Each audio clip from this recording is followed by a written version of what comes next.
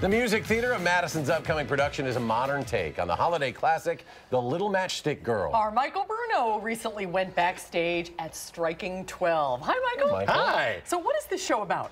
Uh, well, it was originally done by this group out of New York called uh, Groove Lily, and it was their way of doing an annual uh, New Year's Eve show. And now they uh, franchised it. Music Theater of Madison is known for doing these avant-garde musicals that no one ever really does on the big stage. And they got a grant to do these in different libraries across oh, town. Wow. Uh, and then they're also going to be doing two live shows at the Brink for uh, the holidays. So it's basically, it's loosely based on Little Matchstick Girl. And, and the musicians actually have to act and play instruments and sing in the show. Wow, that's so impressive. they have to be a triple threat for this show. Let's go backstage and check it out. Great.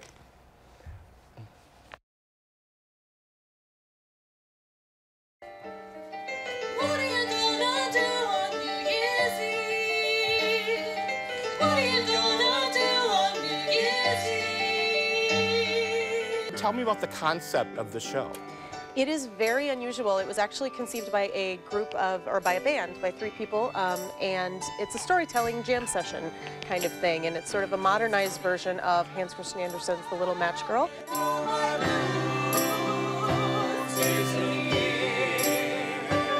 We have a character who is a SAD light seller, S-A-D, seasonal affective disorder, those lights that you are supposed to shine on you and give you the idea of being in the sun and take away the sad. Um, so she sells those lights and um, she is referred to as the little light seller as and uh, she was saying oh it's a literary reference to the little match girl. And our main character is like oh i haven't really i don't really remember that story.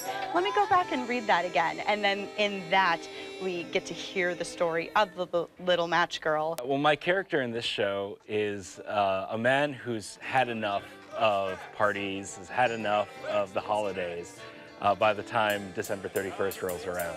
So he doesn't want to go out, he doesn't want to party, he just wants to stay inside and have a quiet night alone on New Year's Eve.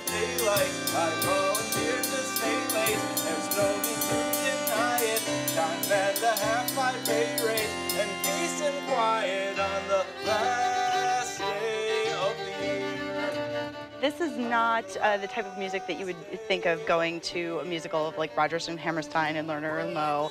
Um, this is actually more of folk rock is the style that I would put it in most closely. Um, and a little bit of pop in there as well. We actually have a blues song, which is really cool. So there's a nice mix of genres in the music. And all your actors have to play the instruments as well, right? Yes, so my actors are doing like triple duty on this show, which makes it definitely challenging, but also really special. So um, they are playing our instruments, and they are also singing all the songs, and they are acting.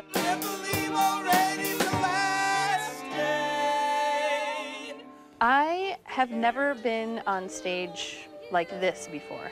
I play in bands around the area. I get hired to play on albums with my violin. I have a recording studio and things like that, so I'm primarily a musician. But for me, it was learning to memorize dialogue.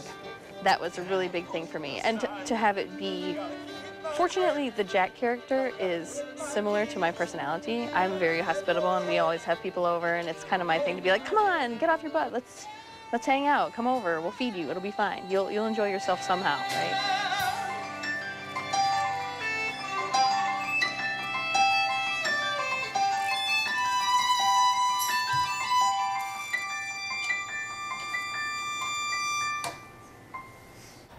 Striking 12 is playing in several different locations. A free performance takes place on Thursday at the Central Library, and a pair of ticketed shows at the Brink Lounge wrap up the run on December 29th and 30th. Head to mtmadison.com for tickets and more information. It's very interesting. Some versatile performers there. They yeah, they're amazing. On. They have to do all that stuff and learn their lines and play the instruments and sing at the same yeah, time. That's something. Now, are, are, those the extra shows you were mentioning? Those are the three extra shows. Yeah, okay. they've been doing shows previously in the libraries, and they'll do one more at the Central Library and then two at the Brink Lounge before New Year's. Wow, very interesting.